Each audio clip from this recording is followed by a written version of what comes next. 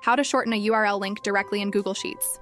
To begin, open Google Sheet by simply typing in sheets.new on your browser.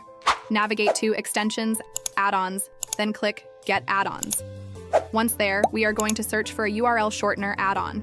Pick any add-on you like and simply click Install.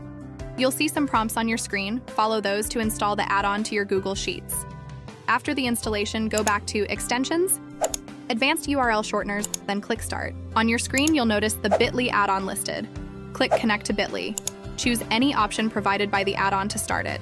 Now, there might be a setup process that involves logging into your Bitly account and authorizing the add-on to access your account. This step is crucial for the add-on to shorten URLs using your Bitly account. Now you're ready to shorten your URLs. Type or paste the URLs you want to shorten into a column in your Google Sheet. Make sure each URL is in its own cell, starting from, for example, A1 downwards. For the free version, you can only shorten one URL at a time.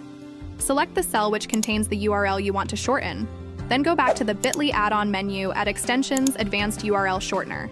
Click Start and on you right hit Shorten Selected to shorten the URL you selected. Next, you will want to click the Process button. The add-on will either replace the original URL with their shortened versions directly in your sheet or insert them in an adjacent column.